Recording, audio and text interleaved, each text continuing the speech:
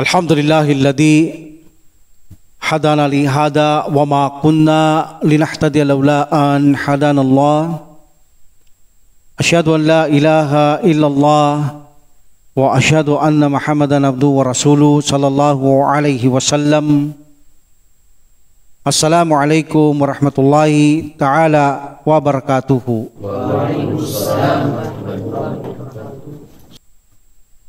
So alhamdulillah, pagpapatuloy natin ang ating basic pick of rulings at dumako naman tayo sa panibagong bulb natin. This is a Babul Adan. Adan, the call to prayer, ang panawagan sa ating mga ginagawang takdang sala, limang beses na sala, mga obligadong sala sa araw-araw. So this chapter is Babul Adan, the chapter of Adan, the call to prayer. Ang Adan, ito ay fix, hindi maaaring dagdagan, hindi maaaring bawasan. Hindi tayo pwedeng mag-imbento ng karagdagan sa mga adan nang wala itong ebidensya o magbawas. At ang adan natin, ito ay hindi inimbento ng Propeta Muhammad sallallahu alaihi wasallam o ng mga sahaba. Sapagkat alam natin, sa Islam, hindi po pwede ang gawaing pagsamba na walang ebidensya. Sasabihin ng Allah subhanahu wa ta'ala, maging sa mga hindi mananampalataya, kung sila'y totoo, magpakita sila ng kanilang mga ebidensya kung sila'y totoo. Sapagkat ganyan ang pananampalatayang Islam, Kapag inamon ka ng Allah subhanahu wa ta'ala na kiniklaim mo na hindi ka mananampalataya, na totoo ang iyong reliyon kayong magliligtas, sasabihin agad ng Allah subhanahu wa ta'ala, Kul Muhammad, hatu burhanakum in kuntum sadikin.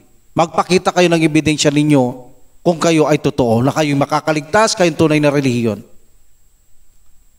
So ito ang ating relihiyon, even na sa ating pagsamba, kapag tayo sumasamba, kailangan mayroon tayong ebidensya. Hindi natin pwedeng ipilit sa ating pananampalataya ang gawaing pagsamba na walang ebidensya. Baka tayo ang balikan ng Allah subhanahu wa ta'ala, sabi niya, okay, magpakita kayo ng ebidensya kung kayo totoo, kung tama yung ginagawa nyo, ito ba'y turo ng Islam, maipakita nyo ang ebidensya nyo. Gayon sa Quran ay sa Sunnah. So that's why, bilang isang Muslim, ay hindi nararapat na tayo ay magsagawa ng pagsamba ng mga walang ebidensya. Basta ito ay konektado sa ating pananampalataya. Sa pagsasagawa ng sala, alam natin, mayroon tayong isinasagawang adan, especially kung mayroon itong masjid. At nararapat ang adan ay pumapasok sa saktong oras ng sala na kung saan naman ay pinag-aralan nating nakaraan ayon sa panahon na itinuro ng mahal na Prophet sallallahu alaihi wasallam kung kailan dumarating ang takdang sala ng bawat obligatory sala at saka tayo mag-aadan. Pagpasok lang mismong takdang oras ng sala ng bawat mga obligadong sala. So meaning hindi ka pwedeng mag-adan nang wala pa ang oras ng takdang sala, maliban lang ang pajar. Ang pajar kasi may dalawang adan ito, especially kapag nag-aayuno, ang mga kamusliman, yung unang adan, hindi yon ang adan ng takdang sala sa pajar, kundi ang adan ay para mag-prepare ang mga tao sa kanilang pagluluto, sa kanilang pagkain para makapag-ayuno o makapag-prepare bago pumasok ang sala ng pajar. So, ang Fajar, may dalawa yung adan. Yung isa, wala pa sa takdang sala, ngunit itong adan na ito, hindi ito panawagan para magsala. Kundi ito'y panawagan para maghanda ang mga tao na sila ay gumising na, magluto na, yung mga nag-aayuno, magsiluto na at makakain na, yun ang unang panawagan sa Fajar. At magsihanda na rin sa nalalapit na panawagan ng pagsasala. So meron tayong dalawang adan. Okay, yun, Fajar yun. Ito, dalawang adan sa bawat ating sala. Yung dalawang Adan na ito, yung sinasabing Adan at saka Ikama. Tinawag itong pareho ng Prophet sallallahu alaihi wasallam ng Adan. Isa sa panawagan sa mga tao para magsala at isa sa panawagan na magsihanda na sa pagdarasal. At sinabi ng Prophet sallallahu alaihi wasallam, bay nakuli adayni sala. Sa bawat dalawang Adan ay uh, uh, may, sorry, mayroong dalawang adan sa bawat sala. Sabi ng Prophet sallallahu alaihi wasallam, may nakulli adayni sala. Sa bawat dalawang adan, mayroong sala. So meaning ang ating pagsasala ng fard, kapag ito ay dumarating ay may dalawang adan, yaong panawagan sa mga tao, halimbawa may masjid para magsipunta sa masjid, panawagan ito para magpunta sila ng masjid. Okay, mag-prepare, maghanda, mag-greet ng masjid, After that, ikama, panawagan nito para tumindig na, tumayo na para umpisaan na ang sala. Itong adan na ito, ito ay mayroong tayong dalil from Quran, from Sunnah, and also this say ijma. Ang ibig sabihin ng ijma, napagkasunduhan ito ng lahat ng mga sahaba. Walang tumututol dito. Okay? From Quran, Sinabi ng Allah subhanahu wa ta'ala, A'udhu billahi minasyaitan rajim, bismillahirrahmanirrahim, Wa idha nadaytum ila salah, ittakadu, ittakaduha husuwaw wala iba. At kung inyong ipahayag ang pagtawag ng sala, meaning daadan, ito ay ikinal, kanilang itinuturing bilang isang panunuya o katatawanan.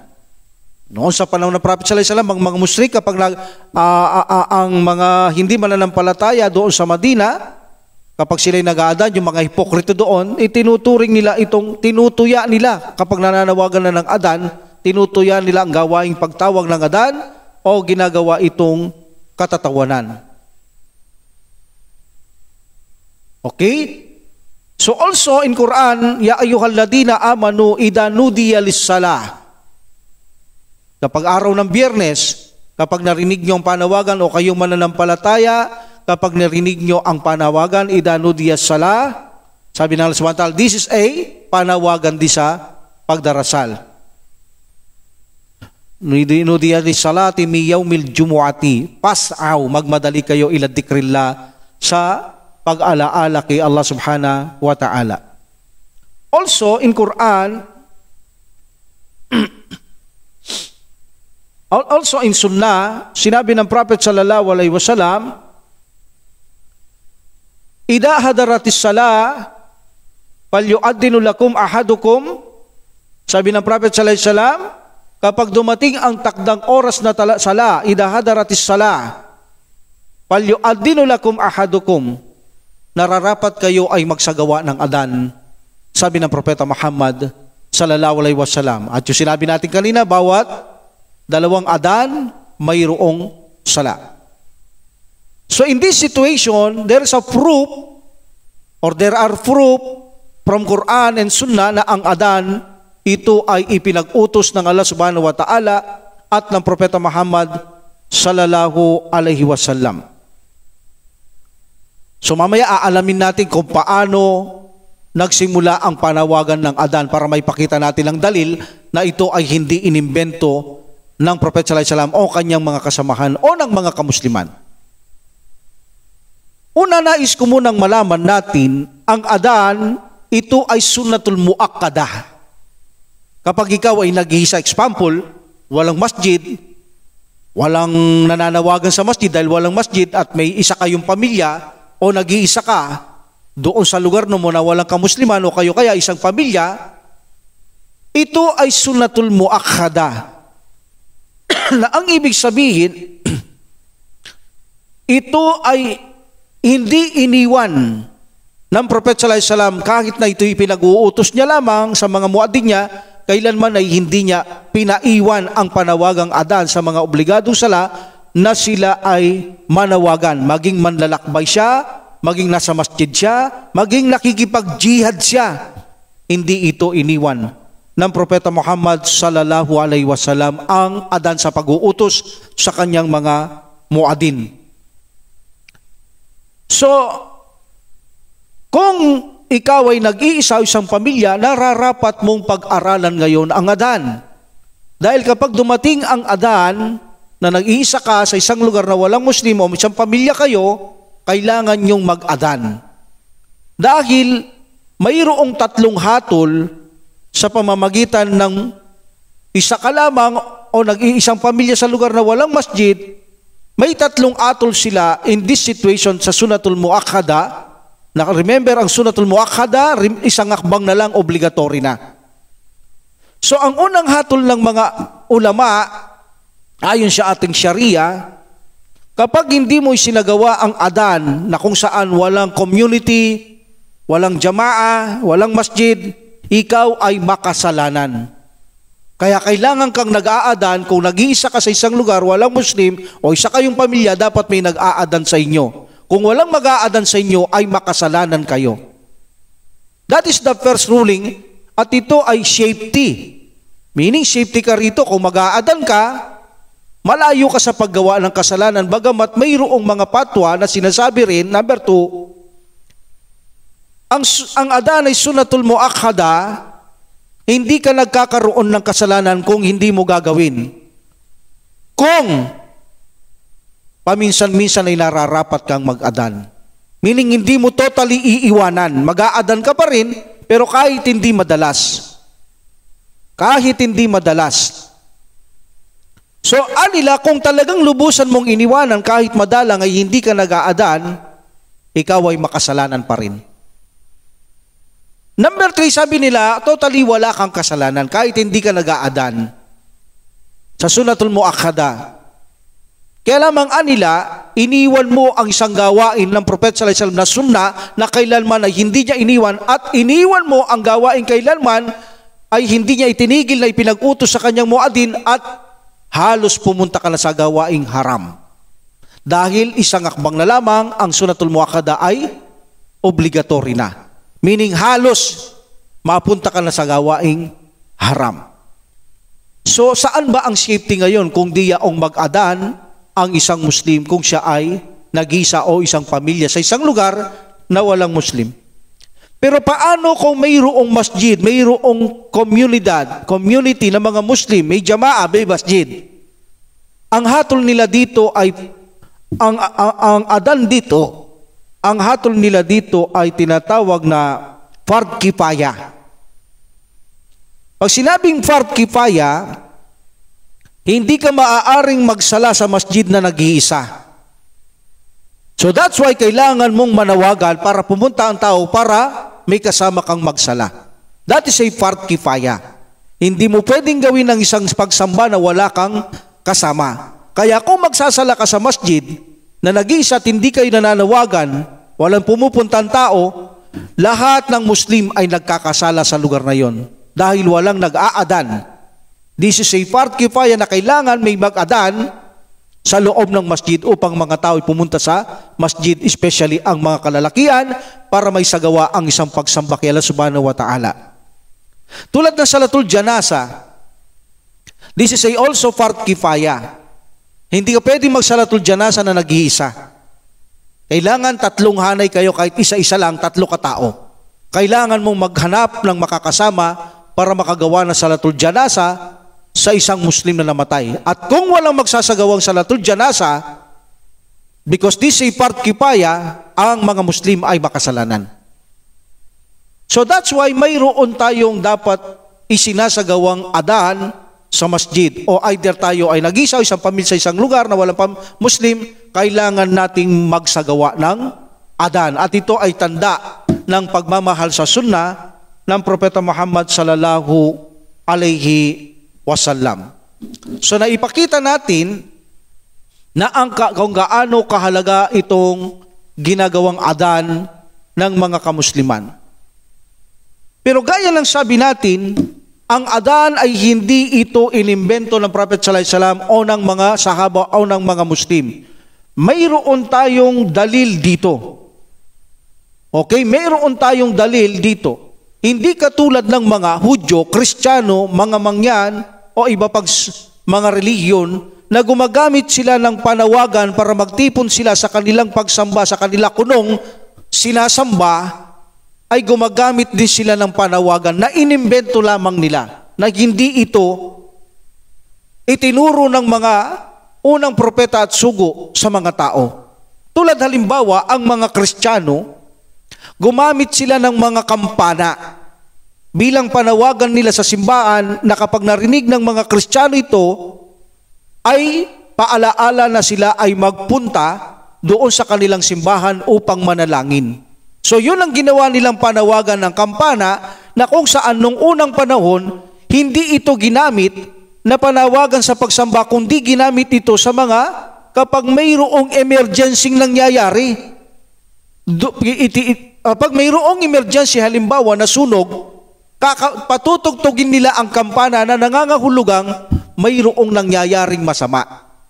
Hanggang sa ginawa ng Kristiyano ang kampanang ito bilang kanilang panawagan sa pagsasamba. So this is a invented. Ang mga Hudyo, gumawa din sila ng kanilang mga sungay na galing sa mga sinasabing sungay sa mga animales. Okay? At ang sikat na ginagamit nila ay sungay ng mga tupa. Na kung saan ginagawa nila itong mga tambuli o torotot sa madaling sabi, ginawang trumpeta. Ang mga ito, hanggang makaimbento na sila ng trumpetang maganda para sa panawagan sa pagtitipon nila sa pagsasamba. So this is a also invented. Wala itong ebidensya na nagmula sa reliyon ang katuruang ito. Maging alam natin ang mga ibalag na mangyan, ang kanilang panawagan o ang mga sumasamba sa apoy, bagamat ang apoy nila hindi namamatay, tanda ito na hindi namamatay, sinasamba nila, gumagamit din sila ng panawagan na ito ay nanggagaling sa apoy para sila ay magtipon at sumamba sa kanilang mga sinasamba. Pero paano ba ang mga Muslim? Nagsimula ang ating panawagan. Ito ba ay mayroong ebidensya? So dakuhan natin ang hadith sa araw na ito. Okay, bagong ano ito, chapter Babul Adan. Nasa chapter tayo ng Adan. Hadith 144. Pagpapatuloy natin sa basic pick of rulings. An Abdullah ibn Sayyid ibn Abdirabbi radiyallahu ta'ala anhu qal tapabi. Wa ana naimun rajulun faqal taqulu Allahu akbar Allahu akbar. Padakar al-adana bitardiil takbir takbiri bigayri tarji. Wal ikamata furada illa kadakamatis sala. Kala falamma asbahtu ataitu Rasulullah sallallahu alaihi wasallam faqala inna hala ru'ya haqquk. Al hadithu akhrajahu Ahmadu wa Abu Dawud wa sahahahu Tirmidhi wa Ibnu Usaymah rahimahumullah. And also wasada Ahmadu fi akhirihi qissata qawli Bilal fi adanil fajri salatu khairu minanum. Wal ibni Qusayma rahimahullah an Anasi radhiyallahu ta'ala anhu qal min as-sunnati idha qala al-muaddinu fil fajri hayya 'ala as-salah hayya 'ala al-falah qala salatu khairu minan num. Sa hadith na ito, isinalaysay ni Abdullah bin Said. Remember, ma- ma- kailangan matandaan niyo ito, ito ang unang nakaalam ng Adan. Sino siya? Abdullah bin Said bin Abdurrabbeh. Dalawa sila, actually, isa pa rito si Omar ibn Khattab, radiyallahu anhuma. Sabi niya, abang ako'y natutulog, isang tao o sa anyong tao, angel to, isang tao sa anyong tao ay lumitaw sa aking harapan, na bining panaginip ito. At sinabi niya sa akin, Allahu Akbar, Allahu Akbar. Sa isang hadith, ganito yon. Nakita niya raw itong si Abdullah, nagdadala siya ng kalembang. Sabi ng anghel, ahanin mo yan. Sabi niya, gagamitin naming panawagan sa mga tao, yung kalembang. Parang sa mga Kristiyano, sinabi ng anghel, nais mo bang ituro ko ang higit na mainam dyan? Sabi niya, ano yun? Sabi ni Abdullah sa panaginip, Allahu Akbar, Allahu Akbar, meaning, isinigaw niya ang buong Adan. Ipinaalam niya ang buong Adan kay Abdullah. Okay? Abdullah bin Said. Remember that. Abdullah bin Said ibn Abi Rabbi. So, at sinabi niya, ang Adan ay may apat, itinuro niya. Meaning, dalawang count pero apat na takbir. Allahu Akbar, Allahu Akbar. One count pero two takbir. Tapos Allahu Akbar, Allahu Akbar, bali apat na takbir. Sabi niya, meron siyang apat na takbir. Okay, but kung sa, bibilangin natin, siyempre, dalawa itong takbir pero hinisigaw na Allahu Akbar, Allahu Akbar, isa, pero dalawang takbir. So remember, apat na takbir yung unang itinuro ng lumitaw na tao sa kanyang panaginip. At walang tarje. Yung tarje, kapag nagadan, kapag dating doon siya shahadatani, asyadu an la ilaha illallah, lalakasan mo yun. Then magtatarji ka. Kung may tarji, ito wala. Yung tarji, tapos mahina. Pagdidiin yun. Allah, uh, asyadu an la ilaha illallah, mahina yon. Tapos sisigaw mo na naman, asyadu an la ilaha illallah. Tapos mahina naman, asyadu an la ilaha illallah. Bali, apat doon, apat din sa asyadu na Muhammad Rasulullah. Okay, so paano ba natin ginagawa sa adan yon? Dalawa kay Allah, dalawang mahina. Dalawa kay Prophet Sallallahu Alaihi Wasallam, dalawang mahina. Pero ito walang tarji, yung ginagawa natin. Asyhadu an la ilaha illallah. Asyhadu an la ilaha illallah. Walang mahinang inuulit. Tapos asyhadu na Muhammad Rasulullah. Asyhadu na Muhammad Rasulullah. So meaning, yun ang ginagawa nowadays. Walang tarji. Itong atit na ito, Madina ito, walang tarji. Sabi ni Abdullah. Okay? At pagkatapos, sinabi niya, ang ikamas sala ay itinuro sa akin isa-isa lang. Allahu Akbar, Allahu Akbar, yung sinasabi ko, isang bilang, pero dalawang takbir. Okay? Allahu Akbar, Allahu Akbar, syadun la ilaha illallah, syadun Muhammad Rasulullah, hayal salah, hayal fala, except, sabi niya, kada kamatis salatu, kada kamatis salah, dalawa. Tinuro sa akin, sabi niya, sa ikama, except ang ikama sala, inulit na dalawang beses ito. At nang kaumagahan, pumunta ako kay Prophet Muhammad sallallahu alaihi wasallam, sabi ni Abdullah, at ikinuwento ko ang buong panaginip ko. At sinabi ng Prophet Sallallahu Alaihi Wasallam, iyan ay totoong panaginip, iyan ay isang uri ng revelasyon. Sabi ng Propeta Muhammad Sallallahu Alaihi Wasallam. Idinagdag ni Imam Ahmad rahimahullah sa hadith na kung saan kay Bilal, itinuro din ng Prophet Sallallahu Alaihi Wasallam kapag madaling araw sabihin niya ang as-salatu khairum minan num. Meaning, higit na mainam ang pagsasala kaysa sa pagtulog. Dalawang beses yon. Itinuro ng Prophet sallallahu alaihi wasallam also Ibn Kusayma from Anas, sinabi niya rin radiyallahu anhu, Anas, sunnah aniya kapag ang muadin ay nagsagawa ng Fajr Adan, sabihin niya pagkatapos ng Hayal al-Fala, Hayal al-Fala, meaning sabihin niya ang asalatu khairum minannum. So lumilitaw sa hadith na ito ay nanaginip ang isang sahaba, si Abdullah radiyallahu an at pumunta siya kay Prophet sallallahu alaihi wasallam at ikinwento niyang panaginip at sinabi niya totoo ang panaginip na yan, ang adan na yan, yan ay isang uli ng revelasyon. Puntahan mo si Bilal at ituro mo sa kanya at pagkatapos pag oras ng sala, sabihin mo kay Bilal manawagan siya. Pero bago yan, alam niyo ba na nanaginip ang mga ito, si Umar bin Khattab at saka si Abdullah radiyallahu anhuma, nagsuggest na ang mga Muslim pagkatapos gawin ng masjid do sa Madina, Ya Rasulullah sabi niya, bakit hindi tayo gumawa ng panawagan para malaman natin na oras na ng dasal o sala para magtipon tayo sa masjid katatapos ng masjid sa Madina? So sabi ng, sabi ng mga tao, anong gusto niyong panawagan? Tulad ng mga Kristiyano, gamitin natin yung kampana. Sabi niya, ayoko.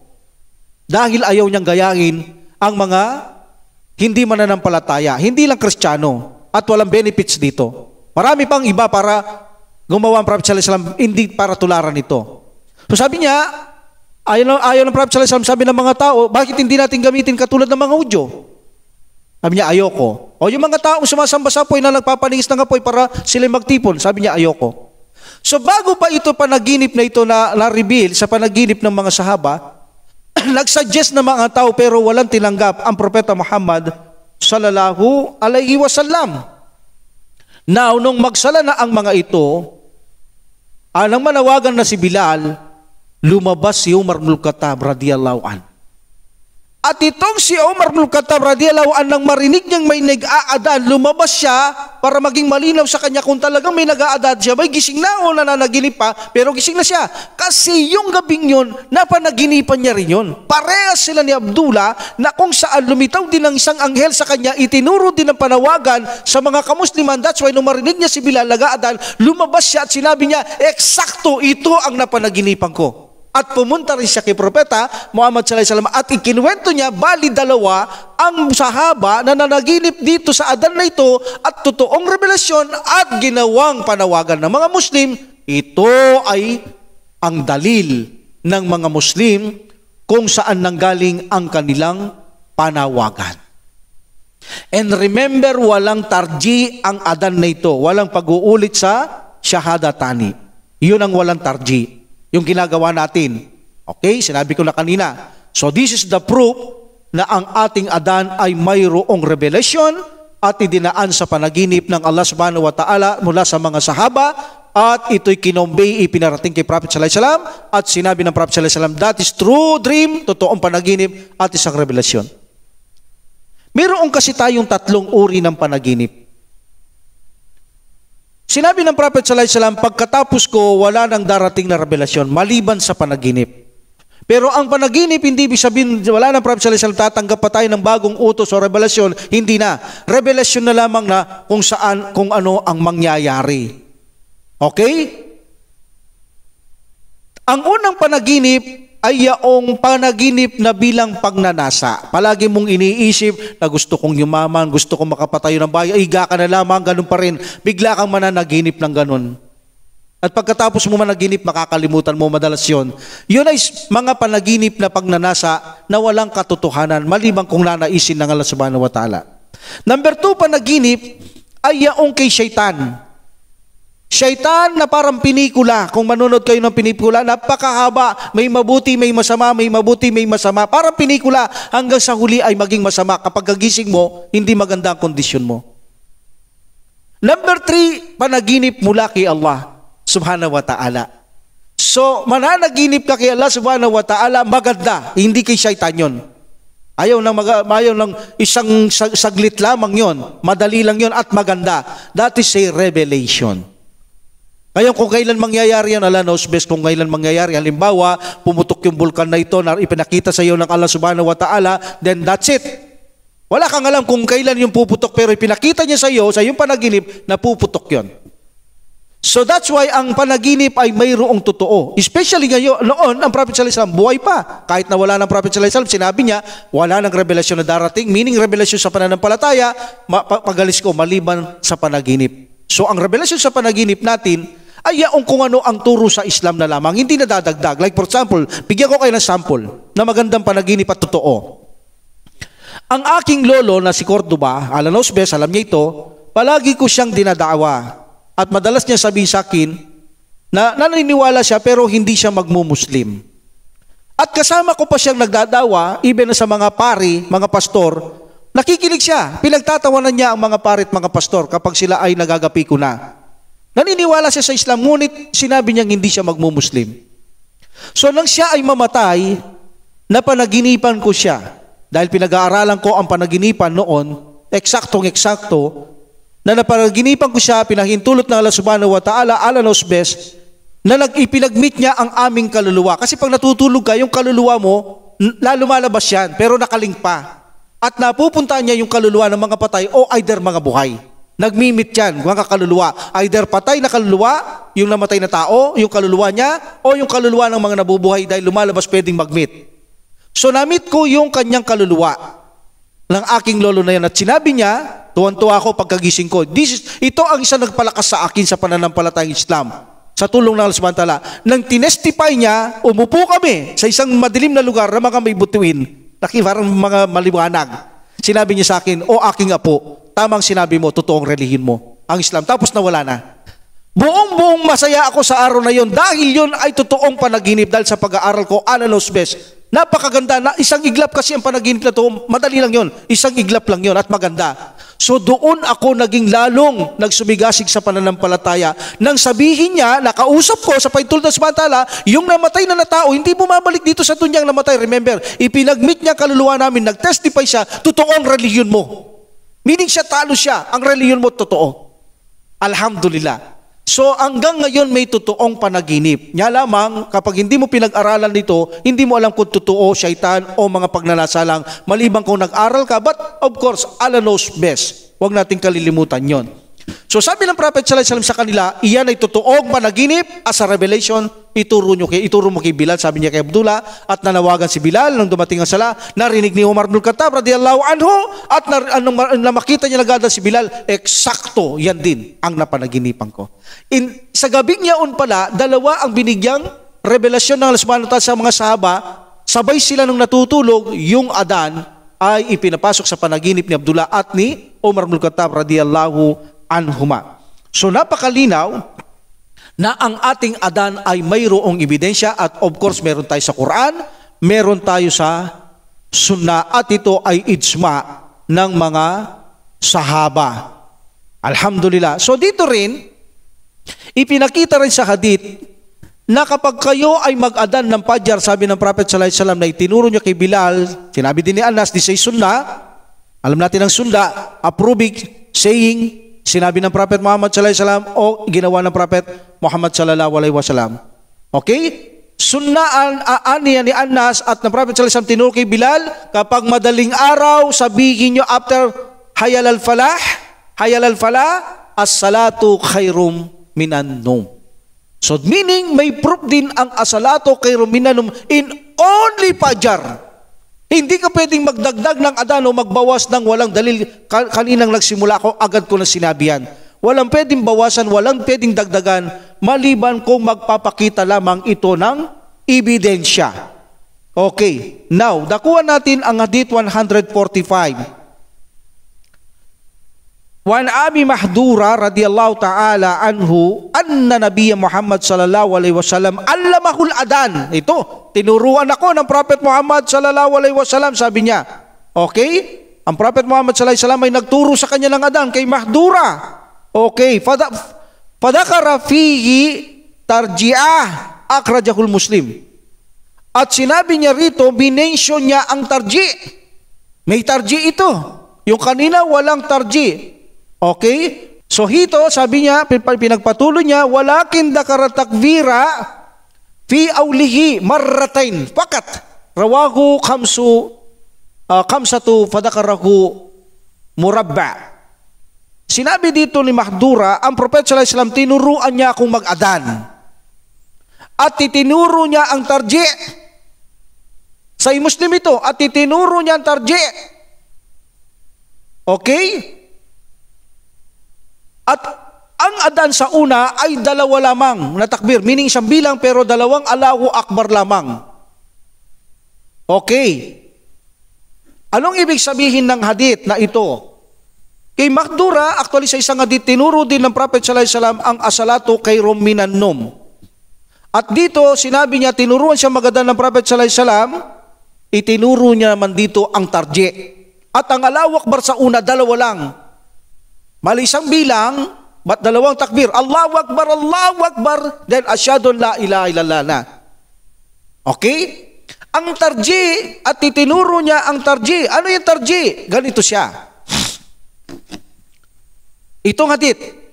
Allahu Akbar, Allahu Akbar. Like that. Then, asyadu an la ilaha illallah. Malakas yan. And then, asyadu an la ilaha illallah. Mahina. That is tarji. Repeat. Tarji meaning doubling or repeat. Then tapos sisigaw niya na naman yung pangalawang malakas. Asyadu an la ilaha illallah. Then tarji. Asyadu an la ilaha illallah. Bali apat. Then asyadu anna Muhammad Rasulullah. Malakas. Then makina. Asyadu anna Muhammad Rasulullah. Then malakas. Asyadu anna Muhammad Rasulullah. Ah, yung adan buhay natin. Asyadu anna Muhammad Rasulullah. Like that. Then mahina. Asyadu anna Muhammad Rasulullah. So meaning lumilitaw, apat ang asyadu la ilaha illallah. apat ang asyado na Muhammad Rasulullah. Ngunit yung takbir sa una, dalawa lang. One count but dalawang takbir, Allahu Akbar, Allahu Akbar. That's it. Pagkatapos nun, dalawa-dalawa na. So lumilitaw sa hadith na ito, ang adan ay mayroong 17. Bilangin natin. Allahu Akbar, Allahu Akbar, dalawa. Tapos sa apat na asyado la ilaha illallah dahil may tarji, anim. Asyado na Muhammad Rasulullah, apat din, sampo. Dalawa ang hayal salah, hayal salah. Hayal al falah, hayal al falah, 14. And then, Allahu Akbar, Allahu Akbar, 16. As, la ilaha illallah, 17. This hadith, from Maliki Madhab, ito ay ginagawa nila. 17. May hadith, dahil sa susunod na hadith ay doubling, basahin ko rin, ito yung doubling hadith, one ah, hindi doubling, mga dalawa-dalawa, sorry. One anasin, one anasin radiyallahu ta'ala anhu qal, umira bilalun an yasfa'ul adan wa yutiral ikamata illa al ikamah okay? Yani ila kada kamatis salatu. Muttafaqun alay walam yadkur muslimun. Alisti alistina. Walin nasai amara nabi Muhammad sallallahu alaihi wasallam bilala. Sa hadith na ito tinuruan sinabi ni Anas radiyallahu an Si Bilal ay inutusang mag-adan dalawa-dalawa. Twice-twice. Okay? And the ikama, isa-isa lamang. Except in kada kamatis sala, kada kamatis sala. This is a strong hadith. Mutapakunalay. Bukhari Muslim. Okay? So at sinabi din dito ng nasay, si Bilal ay ipinagutos ito ng Prophet Sallallahu Alaihi Wasallam sa kanya. So dito twice twice. Allahu Akbar, Allahu Akbar, Allahu Akbar, Allahu Akbar, twice twice. Then asyadu la ilaha illallah, asyadu la ilaha illallah. Okay. But yung may tarji, kung may tarji ito, 19. Kung walang tarji, 15. So meaning ang adan ay 15, 17, 19. Now, ipakita ko lahat. Ito ang tatlong uri ng adan at pwede lahat ito. Minsan nagpunta ako sa isang masjid. Hindi ko na sasabihin ko saan. Pagdating ko doon, nagtanong sila, Ya Imam, may nakadan dito. Yung adan niya, inulit-ulit niya yung shahadatani shahadul la ilaha Meaning nagkaroon ng tarji. Sabi ko, wala namang problema yung brother. Pwede yun. Hindi ba isa lang ang adan? Hindi. Tatlo ang adan. Ito ang unang adan, 19. Bilangin natin, Allahu Akbar, Allahu Akbar, dalawa. Allahu Akbar, Allahu Akbar, apat. Tapos may tarji, asyadu la ilaha illallah, ilan yun? Apat. Walo. Then asyado ng Muhammad Rasulullah, may tarji, apat din yun, labindalawa. Okay? Labindalawa. Hayal as-sala, hayal as-sala, labing apat. Hayal al-fala, hayal al-fala, labing anim. Allahu Akbar, Allahu Akbar, labing walo. Dahil dalawa yon. La ilaha illallah, labing siyam. Ang labing pito, tanggalin mo lang yung dalawang Allahu Akbar, kanina yung hadith, dalawa lang. Allahu Akbar, Allahu Akbar, then la ilaha illallah, may tarji. Labing pito. Hindi hindi yung Allahu Akbar, Allahu Akbar, tapos Allahu Akbar, Allahu Akbar. Hindi, dalawa lang. Allahu Akbar, Allahu Akbar. Asyhadu an la ilaha illallah. Then asyhadu an la ilaha illallah. Asyhadu la ilaha illallah. Asyhadu la ilaha illallah. So, labing pito yan. Yung isa labing lima, ito yung ginagawa nowadays. Buong mundo ganito ang adan almost. Apat sa unahan, bali dalawang bilang, apat na takbir, Allahu Akbar, Allahu Akbar, Allahu Akbar, Allahu Akbar, then walang tarji. Asyhadu la ilaha illallah, malakas asyhadu la ilaha illallah, asyhadu Muhammad Rasulullah, asyhadu Muhammad Rasulullah, hayyal salah, yal salah, yal falah, yal falah, Allahu Akbar, Allahu Akbar, la ilaha illallah, 15. At ito ang dapat gawin talaga ng mga Muslim. 15. Bakit? Yung hadith kanina na inuna natin na yung napanaginipan nilang hadith ni Omar at ni Abdullah radiyallahu anhuma na sinabi kay Prophet sallallahu mula sa panaginip, ito'y totoo. Sa Revelation, 15 lang yon At inireveal yun sa Madina. Unang-unang panawagan yon Yung may tarji, ito ay nang makonquest lang ang Makkah. Doon niya lang itinuro ng Prophet sallallahu ang tarji para diinan lang Dahil nasakop eh. Para diinan lang yung asyadon la ilaha illallah dahil nasakop. Idiin nyo, sabi ng Prophet sallallahu alaihi wasallam, asyadon la ilaha illallah, asyadon la ilaha illallah, asyadon la ilaha illallah, diniinan. Meaning sa maka ito bumagsak. So gayon pa man, ang mga adan na ito, ang lahat ay maaari itong gawin. Ang lahat ng mga ito ay maaaring gawin ang mga adan kung ang dalawa ay madalang lamang, 17-19. Madalang lang pwede, huwag palagi. Ang dapat ay mamalagi ang 15 na adan, yung bilang. Okay, now alam nyo na kung ano ang pinakahigit na mainam gawin ng adan, yung labing lima lamang. Okay. The benefits of adan, kasi minsan nagtuturuan sa adan eh, malamang na hindi nila nauunawa ng gantimpala sa Adan. Okay? Alhamdulillah. So, wag nyo rin gawin ito na may nakikita kong nag-aadan, pagkatapos magadan, magdudua tapos ihila mo sa muka para hindi raw lumabo ang kanyang mata at pinagbintangan si Abu Bakar radiyallahu an na siyang gumawa noon. Wala akong alam noon. Alanos bes at hindi ko alam na nagadan si Abu Bakar radiyallahu an dahil mga busy ang mga yan ng Prophet sallallahu alaihi wasallam. Okay? Kung ito man ay may dalil na nagadan si Abu Bakar radiyallahu an, tiyak na hindi niya ginawa yon. Dahil hindi ang ginawa ng Prophet sallallahu alaihi hindi ginawa ng mga sahaba. Okay? So wag niyong gawin yung pagkatapos niyong magadan, magdudua kayo ng pansarili. Hindi. May dua tayo doon para kay Propeta Muhammad sallallahu alaihi wasallam. Okay? Alhamdulillah. Then, dako tayo kung gaano kahinam itong adan para hindi, hindi kayo nagtutulakan, baka magunahan kayo, ay sabi ng Prophet sallallahu alaihi wasallam, kung alam niyo lang ang reward ng Adan at ang nagsasala sa unang sa anay, sala sa unang anay at Adan, magpapaligsaan kayo. Ah, ngayon hindi. Instead na magpaligsaan sa unang anay o kaya sa pag-aadan, nagpapaligsaan sa pag-atras.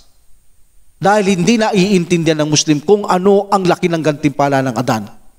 Kung hindi man ginawa ng Prophet sallallahu alaihi wasallam to, ang mga ibang namuno, mga kalipa, ang Adan, hindi ibig sabihin ayaw nilang gawin. Hindi lang nila magawa ito dahil wala na silang sapat na panahon para gawin nila ang Adan dahil sobrang busy nila. Ang unang reward ng Adan, remember, this is a ibada. Pagsambayan. Tiyak yan na pagsambayan. At kung may intention ka na mag, uh, mananawagan ka sa mga tao para magsala, pumunta sa masjid at magsala rito, ibigay karapatan sa mantala, ang utos ng Prophet sallallahu alaihi mga lalaki sa masjid, magkakaroon ka sa bawat tao na yan na pumunta rito sa masjid kay Allah subhanahu wa ta'ala dahil narinig nila ang panawagan mo kung bakit sila pumunta rito by the will sa Allah subhanahu wa ta'ala. Bawat magsalang tao, bibigyan ka ng Allah subhanahu wa ta'ala. Kaya ang panawagan dapat mas mainam, malakas para kahit malayo yung Muslim mo, pupunta siya sa masjid.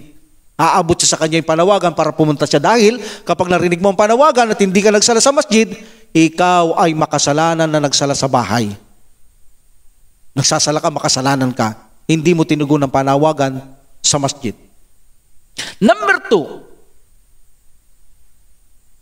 kapag ikaw ay nagsasagawa ng adan, ha, ang mga jin ay umaalis. Ayaw na ayaw ng mga jin ang naririnig nila ang adan. Kaya ang mga jin, kapag nag-adan, nakita yung masjid, ito na yata yung lugar paggiga mo, matutulog ka. Oh, maghanap kayo ng lugar, sementeryo, simbahan, kahit na ng lugar. Iba ang masjid. Kahit hindi ka inaantok pag pumasok ka sa masjid, umiga ka, matutulog ka. Lahat ng Muslim ha, nararanasan nila yan dahil ang mga jin ay ayaw nila ang lugar na ito maliban mambuyo sila. Kung bakit sila dito pag nagsasala, doon na sila mag, mambubuyo ng mambubuyo. Pero subukan mo magadan. Magsisitakbuhan sila. Pag tapos ng gadan, yes, bumalik sila para mambuyo sa mga magsasala. Pero actually, ang lugar na ito, kung wala ring Muslim, anong gagawin ng jin dito? Maliban siguro sa mga Muslim na jin. That's why pagpasok mo rito dahil mga walang jin dito, ang sarap ng iyong pakiramdam eh. May problema ka, nag-away kayo ni Mrs. Punta ka masjid, humiga ka, magiging kalmante ka, magiging relax ka. Pero pumasok ka ng simbahan, kahit na walang tao, pakiramdam mo napakainga, napakagulo sa loob ng simbahan. Dahil bakit? Eh gustong-gustong lugar ng mga jin yan eh. O, di ba? Alhamdulillah. So number three, sa araw ng paghukom, ang mga muadin ay mahahaba ang liig. Nakikita nila lahat. Nataas sila eh, mahaba ang liig. Nakikita nila ang lahat. Bakit maaba ang kanilang leeg? Alanos best, tanda ito na magte-testify ang kanilang leeg na sila ay nag-adan. Alam na alam ng mga tao kapag nakita nila mahaba ang leeg nila, sabi ng Prophet Sallallahu ang mga muadin sa araw paghukom, mahaba ang leeg, alam na alam mo si muadin. Alam na alam mong nag-aadan siya. So tetestify yung leeg na yun, maging ang tao alam nila muadin siya. Tetestify ang kanyang leeg na siya ay nag-aadan. At alam naman natin, lahat ng bahagi ng katawan natin sa araw ng paghukom na anumang ginawang mabuti masama ay tetestify natin laban sa atin o alang-alang sa atin. Ganun pa rin, sabi ng mga ibang scholar, ang pag-aadan, kung gaano kalayo ang naaabot ng panawagan mo, ganong kahaba din ang pinatatawad na kasalanan ng Allah subhanahu wa ta'ala para sa iyo. Kaya ang pinaka, pinalalakas nila, dahil kung gaano kalayo yon, ganong kalayo din ang tinatanggal ng Allah subhanahu wa ta'ala sa iyong kasalanan. Halimbawa, yung sinusulat ng mga malaika, may mga talaan yan, kung pagsasama-samain, ang layo niya, hanggang dito, hanggang doon. Nung magadang ka, inumabot doon, patatawarin yon ng Allah subhanahu wa ta'ala. So Allah knows best. Allah knows best. Alhamdulillah. The condition of Adan. Kapag nag kayo, dapat may intention. Yan kasi ang minsan wala eh. Kaya ang mga gawain ng Muslim ngayon, malabo, walang intention. Pero kung may intention ka, hindi ka pwedeng unaan eh. Magagalit ka pa pag naunahan ka eh. Intention ang nawawala. Kaya pag mag-aadan ka, mag intensyon ka. Mag intensyon ka, may iktilap dito. Ano nila, kapag hindi ka nag-intensyon, nagadan ka lang, ang adan mo hindi tanggap, kailangan mong ulitin. Pero sabi ng mga iba, hindi. Kahit walang intensyon, matatanggap ang adan mo, matatanggap ang iyong adan. But niya lamang, mas mahalaga ang mayroong intention dahil tinitignan ng Allah subhanahu wa ta'ala ang iyong layunin, ang iyong puso, ang iyong intention sa iyong mga gawa. Walang intention, wala kang mapapala sa iyong ginagawa mo. So mainam na may intention. Pangalawa, ang kondisyon ng adan ay maaari kayong mag-post. Post. Allahu Akbar, Allahu Akbar. Post. Hindi po pwedeng hindi kayo mag-post, magtutulad sila ng ikama. So pwede kayong mag-post pero hindi dapat matagal. At allowable kayong magsalita kung ito ay kailangan. Halimbawa, nag-adan ka, Allahu Akbar, Allahu Akbar. Then may dumating, Salamu Alaikum. Walaikum salam, brother. So maikli lang. Pwede ka sumagot. Bagamat sa iba, ayaw nila. Kahit maikli lang, kung hindi sakop ng adan, ayaw nila. Ah, like for example, dahambali, ayaw nila yon. Kapag sumagot ka ng salam doon, uulitin mo ang adan mo para sa kanila. But the other, the majority, pwede kang makipag-usap kung ito ay parte ng ating pananampalataya at kailangan mo sagot, sumagot. Especially kapag ikaw ay binati ng salam, obligado kang magbalik ng salam o kaya may umubo siya, sinabi niya, Alhamdulillah, yarhamkallah, sinabi mo yan, sabi nila walang problema, basta maiksi, hindi mahaba. At ito ay maganda ang sasabihin at hindi yung mga walang kwentang sasabihin. Hindi ka pwedeng maganda na nakikipagkwento ka. May post lang, kokonti lang. Hindi katulad ng ikama, hindi kayo pwedeng magsalita abang nag-ikama. Bakit? Mabilis ang ikama. Ang adan mabagal, ang ikama mabilis. May post ang mga adan. Pag nag-ikama ka, Allahu Akbar, Allahu Akbar, syadun la ilaha illallah, syadun Muhammad Rasulullah, hayal salah, ilal fala, kada kamati salah, kada kamati salah, Allahu Akbar, Akbar, la ilaha illallah. Paano ka magsasalita nun? Kung dire-diretsong ganun. So that's why wala kang pagkakataong magsalita at binabawal magsalita rito at ang mga makmum. Kapag ang adan ay pumasok, wala nang pwedeng magsalita.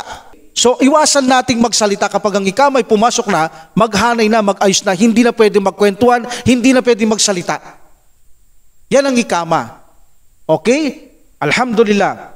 So ito ang dalawang panawagan natin sa sala, ang ikama at saka ang adan. That is another condition ng pagsasagawa ng adan. Also, ang kondisyon ng adan ay kinakailangan Arabic. Hindi yung mag-aadan ka ayon sa ating salita. Kailangan pag-aralan yung Allahu Akbar, Allahu Akbar, hindi ka magsasalita ng ang Allah ay pinakadakila, ang Allah ay pinakadakila, hindi ka mag-aadan ng ganun.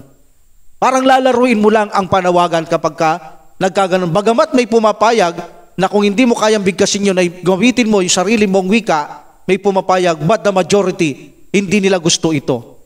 At isa rin sa sunna na kapag ikaw ay nag-aadan, ay nakaharap ka sa kibla, kung saan tayo humaharap kung saan tayo nagdarasal sa uh, maharap sa ating pagdarasal, mainam, much better na nakaharap tayo sa kibla. At much better kung nakawudo tayo. Wala namang masama kung hindi ka nakawudo dahil hindi naman yung bahagi ng sala. Pero much better kung ikaw magibada Alam natin mas mainam kung tayo ay nakawudo bago tayo magsagawa ng adan. At ang mga iba, ayaw nila yung hindi ka nakawudo, sabi nila, ang adan mo, hindi tanggap. At yung bata na hindi obligatory mag-aadan, hindi rin tanggap. Yan ang mga iba, paniniwala ng mga iba yan. Okay? At also, ang kondisyon, mag-adan ka pagpasok lang ng partsala. Except pajar. May dalawa itong adan, sinabi ko na kanina. Kahit hindi pa pumapasok yung sala ng part sa pajar, may dalawang adan at sinabi ko na kanina ang reason. Also, the adan is arrangement. Hindi pwede yung Allahu Akbar, Allahu Akbar, asyadu na Muhammad Rasulullah, asyadu la ilaha illallah. Hindi mo pwedeng ganyanin yan. Kailangan kung paano tinuro ng Prophet Sallallahu Alaihi Wasallam, mula sa panaginip ng mga sahaba na tinuro ni Abdullah kay Bilal na pinaturo ng Prophet sallallahu alaihi wasallam arrangement. Hindi pwedeng hindi arrangement kung di hindi tatanggapin ng adan at nakagawa ka ng bidaa and also the last hindi mo pwedeng gawing kanta ang adan. Nowadays ginawang kanta ang adan. At kahit sa ang anggulo mo pag-aaral sa pananampalatayang Islam hindi mo makikita ang kanilang ginagawa. Like for example in Quran Narinig nyo na ba binasa natin sa Quran? Inna Allah o kaya Allahu waliyullah. Meron ka bang nababasa ng ganon? Wala. Two counts lang. Allahu waliyul ladina amanu. Inna Allah. Two counts lang. Pero makikita mo ang mag-aadan even na hindi ito mad-arid lisukon. Mad-arid lisukon, wala tayong problema. Kahit pakabain nyo, kaya ka pakaba yung mad-arid lisukon at nangyayari sa uling salita mo kapag kat nagsusukon, yung huling salita mo at may mad, either wow, either ya, either bata, or alip. So okay lang yon kahit tumaba yon Pero yung una, wala kang mababasa sa hadith, sa mga sahaba, maririnig o sa Quran na ang Allah ay pahabahin mo. Kaya may adan ngayon, Allahu Akbar, Allahu Akbar. Nasaan yung rules na yon? Ang daming pata ng Allah. Wala kang mababasa sa Quran na nagsisimula, Allahul waliyalladina. Wala kang mababasa, even na Quran, even na mga sahaba, even na Bilal. Hindi ginawa ni Bilal ang kanyang adan. Iyan ay bidaan na adan, ginawang kanta nowadays at pinag, paaligsaan pa ang adan, pinagandang mga adan, ginawang kanta, music, pagandahan, pagalingan, na hindi kailanman ginawa ni, ni Mahdura at ni Bilal ang ganyang adan.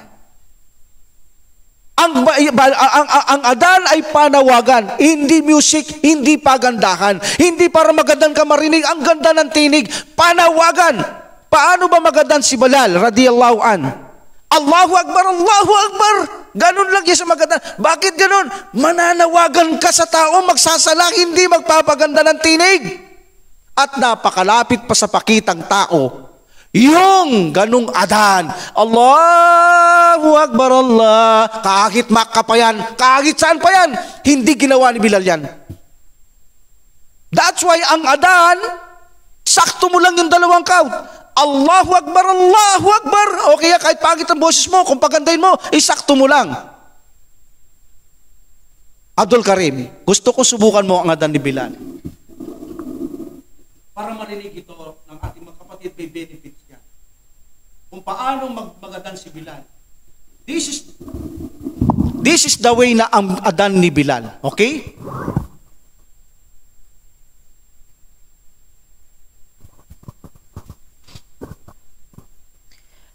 الله أكبر الله أكبر.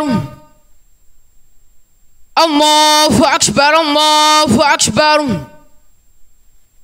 أشهد أن لا إله إلا الله. أشهد أن لا إله إلا الله. أشهد أن محمد رسول الله. أشهد أن محمد رسول الله Masyaallah, jazakallahu khairan. So, so yun ang adan ni Bilal. Of course, mas magaling si Bilal, malakas ang boses niya. Pero yun ang pinakamalapit sa adan ni Bilal. Nakita niyo yung mga count, eksakto ang mga count. Allahu Akbar, Allahu Akbar, sakto. Galing, magandang din sinabi niya, asyadu an la tukaw, asyadu an la ilaha illallah. Ito, la illallah, Pwede kang maging mad-arid lusukon hanggang gusto mong magpahaba, no problem. Asyhadu an la ilaha illallah. No problem. Dati say mad-arid lusukon. Iyon ang adan. Nakita mo ang impact, tumatawag lang siya, Allahu Akbar, Allahu Akbar, Allahu Akbar, Allahu Akbar, asyhadu an la ilaha illallah. Tumatawag lang siya. Hindi siya nagpapasikat, hindi nagpapaganda ng tinig parang music o kanta, hindi ginagawa. Random mong tumatawag siyang adan. At malayo sa pakitang tao dahil ang pilmo ay hindi magpaganda ng tinig kundi manawagan sa tao para pumunta ng masjid at magsala.